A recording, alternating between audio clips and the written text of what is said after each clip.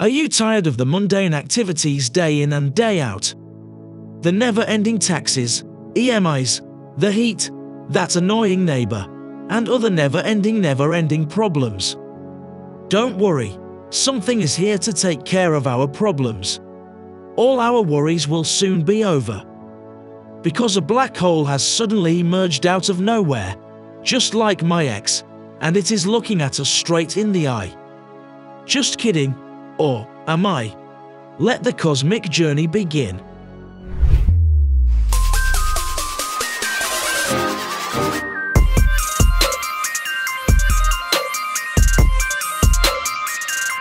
Scientists started to study this galaxy as it showed peculiar properties.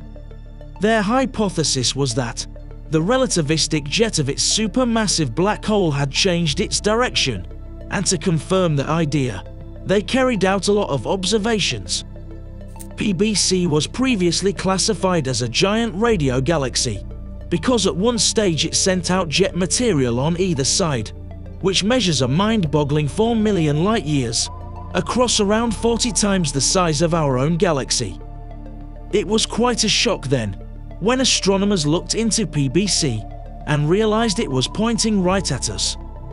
It means the galaxy has moved by a 90 degree angle, and it's now a blazar, which means a galaxy point which has jet points, pointing at Earth. The jet material from the black hole has created two huge lobes on either side of the galaxy, and they are the most immediately notable thing when observed with radio waves. The fact that we see the nucleus is not feeding the lobes anymore means that they are very old. They are the relics of past activity, whereas the structures located closer to the nucleus represent younger and active jets. It's not exactly clear how this could have happened.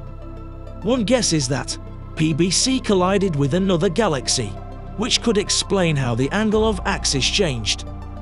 Either way, this discovery affirms that we do not know much about black holes, let alone the universe. What do you think? Now, coming to the more concerning part that you are eager to listen. This black hole pointing directly at us do not pose an immediate threat to our planet.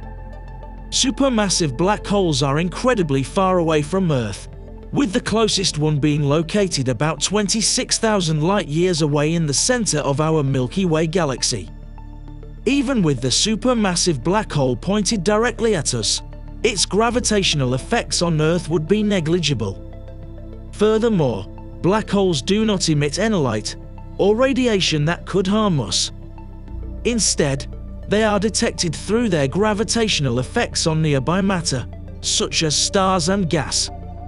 So, while a supermassive black hole pointed directly at Earth would certainly be a fascinating astronomical phenomenon to observe, it would not pose a danger to our planet, and yes, we need to learn a lot more about the topic.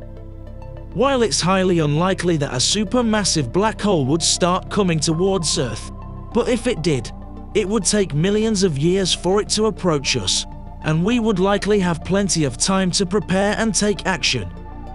However, let's assume that a supermassive black hole is indeed coming towards Earth. In that case, the view from Earth would gradually change over time.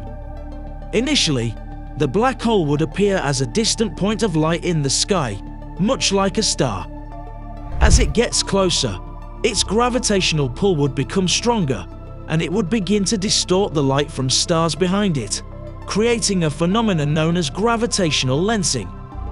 The closer the black hole gets, the more pronounced this effect would become.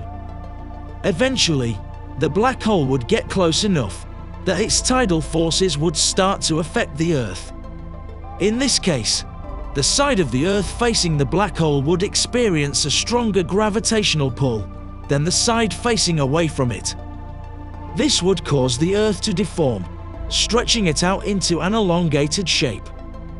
As the black hole got even closer, its gravity would become strong enough to tear the Earth apart. This would happen well before the black hole actually made contact with the planet the Earth's material would be gradually sucked into the black hole's event horizon, which is the point of no return, beyond which nothing can escape the black hole's gravity. While this scenario is highly unlikely to happen, if it does, will it be the end? What would we see while falling into the black hole? Let's explore. The Milky Way contains over 100 million black holes, but detecting these has been extremely difficult. However, in April 2019, the Event Horizon Telescope saw the first ever direct image of a black hole, a supermassive black hole, at the center of the giant elliptical galaxy, named M87. The boundary of a black hole is known as an event horizon. Although not a physical boundary, it is a point in space, beyond which it is impossible to escape the black hole's gravity. Once something passes the event horizon and falls into the black hole, it can never come out of it again. If you fell into a black hole, theoretically speaking, gravity would stretch you out like spaghetti, though your death would come much before you reached the singularity. But what if you could enter a black hole? How would you do it? The first thing would be to choose a supermassive black hole like the one within M87, which is over 3 million times wider than Earth to visit. This way you would be very far from singularity when you went over the event horizon, about 12 billion miles far. You would float for a long while, and may even last as long as a year, before you reach your end. What could be avoided though, are black holes with accretion disks. Only about 1% of supermassive black holes accumulate these fast spinning rings of matter. As we saw earlier, they can heat up to a million degrees and create large magnetic fields. Such powerful magnetic fields would instantly shut down your nervous system and stretch your atoms into thin rods till you dissolved into oblivion. If you had to visit such a black hole, then it should be entered perpendicular to the disk far from the edge of the fiery ring. As you near the black hole, you'll see the light of the universe warped by the black hole's intense gravity. The sky will have streaks of light from the stars, and because the black hole bends the light that bounces off it, you might see duplicated objects around you. You will see the entire formation and history of the black hole since its inception. The concept of time slows interminably near a black hole's intense gravity. For the real world, you have slowed so much that you appear frozen, if seen as an image on the event horizon. However, for you the motion of the universe has accelerated. If you look back out as you float toward the singularity, you may see the universe go past you, only without you in it. Far-fetched and beyond the realm of theoretical physics as of now, there is one means of escape. If the black hole becomes a wormhole, it could take you into another part of the universe. Spaghettified, no doubt, but who knows, there could be someone or something on the other side that could pick up the pieces of your destroyed quantum information and make you whole again. So, would you like to travel to the other side of the universe, or stick with us here, at the edge of the universe? Until we meet again.